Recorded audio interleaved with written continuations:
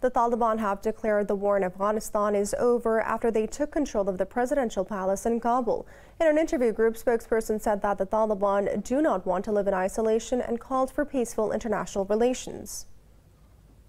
Mohammed Naim said the form of a new government in Afghanistan would be made clear soon. Meanwhile, the deputy of the Taliban, Mullah Baradar Akhund, has congratulated Afghans and his fighters over the takeover. In a video message, Mullah Baradar said that the group's real test begins now as it sought to provide for the people and to improve their lives. Following the announcements, Kabul airport, which is the main evacuation point, was jammed with civilians trying to flee. A United States official said that the troops fired in the air to prevent hundreds of civilians running onto the tarmac. Earlier, the Pentagon authorized another 1,000 troops to help evacuate U.S. citizens and Afghan interpreters.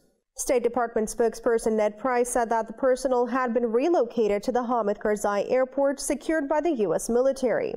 Major airlines, including United Airlines, British Airways, Virgin Atlantic, and Emirates, have relocated or suspended flights to Kabul.